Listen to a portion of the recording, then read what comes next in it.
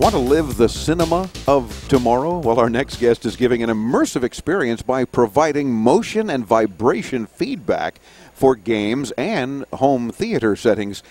Very realistic and very cool. He's the lead software engineer for D-Box, Jean-Francois Ménard. Is that uh, close? That's correct. How are you, sir? Very good, thank you. Good. Glad to have you with us. First of all, what are you guys showing here at your booth? No doubt at the Game Developers Conference, somewhat game related. yes, yes.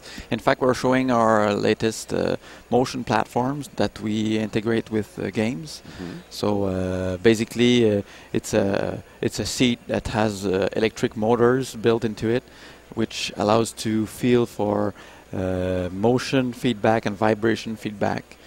So basically, all this uh, system allows you to feel uh, for let's say for a racing game you can feel uh, the car acceleration the g forces you can feel the suspension travel you can feel uh, the, the, the, the tire skidding Yeah. uh, the engine revs so it, it really puts you into the game and you get to f- to to to have some feedback other than the, the visual and the, the sound And a whole lot more than just putting a couple of vibrating motors in the back of a chair or something like that, because as you mentioned, the whole, you feel uh, kind of the shock absorber uh, effect as well, because you've got the legs move and are on little devices that I guess are motor driven, right?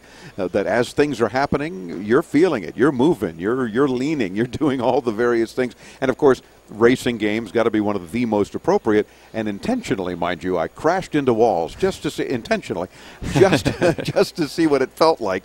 And this chair is like, oh, you are you know that you just pounded into the wall or hit a speed bump or did any number of things. You do feel it. It's very effective. Yes, and you you feel also when you're bumped uh, in the rear, you actually know that oh, someone I, I lose control because someone bumped yeah. me. You get whiplash without the medical problem. right, right, and and when you're you're taking a curve, you actually get to feel when the tire are losing grip, so you can compensate for driving. So it actually gives you uh, more information also from yeah, I felt like I was actually sliding on the grass as if it was wet grass versus the pavement. I mean, you That's could right. tell the difference. And Exactly. Now, now, how do you guys do all of that? Do you actually go frame by frame in a game, for example, and, and say, now when this happens, do this and, and that kind of thing? No, we we do this. Uh, what, you described, we do this for the movies, but for the game, we must go real time. So we we put a plugin in the games to get the physics from the physics engine of the game. So we get the the, the most accurate. Uh, response from the game and we translate this into motion vibration rules and effects to to recreate the the reality of the the, the vibration and the motion that the user would experiment It's very cool. Now, no doubt it works best, I'm guessing, uh, with racing games because you're in a chair, you've got a wheel, and, and you've got pedals, and, you know, brake pedals and shifts, and, and, and, and of course, accelerator. What other games, though, might you sit in a chair like this D-Box chair and feel similar uh, gameplay? Yeah, we try to ex- extend the motion experience to any kind of game. Uh, we've been showcasing uh, a first-person shooter. Uh, so, in, in this uh, realistic environment, you can uh, walk around, feel the recoil of guns.